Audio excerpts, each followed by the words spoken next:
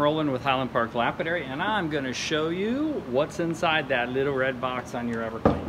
There's two different types of Everclean pumps that we used over the years. We used the, the one that has a little red box on it and then we used another one that is black. The new one is all black. It's a little heavier duty pump.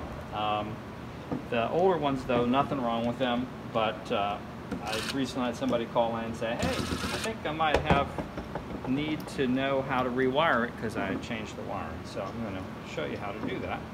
First thing I'm doing is I'm move the camera here. I'm pulling off this cover. I just pulled this pump, this armature off the motor, so it's it's got the main part. And then what you see here, I'm going to kind of give you a close up of the wiring here, is um, push this on through here. I can take it all apart and I'll show exactly how it's wired up. Um, these motors are reversible, so you got to make sure that you got them wired up correctly so they don't go and reverse on you. Okay, so what you see is this has a, a 12 microfarad 450 volt capacitor. It's a small format. That's one of the tricks of this to fit in that little housing. One side of that capacitor goes to the black wire coming out of the motor.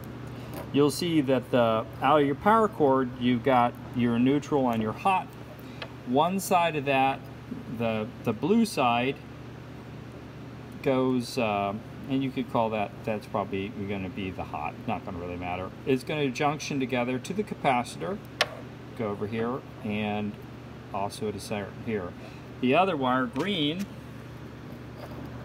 uh, in this particular case, that, I don't know if that's green, I'm colorblind, so that's connected to this wire here.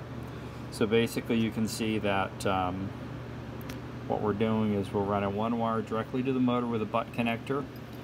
These two wires are junctured together. One goes to the capacitor, comes to that black wire over there.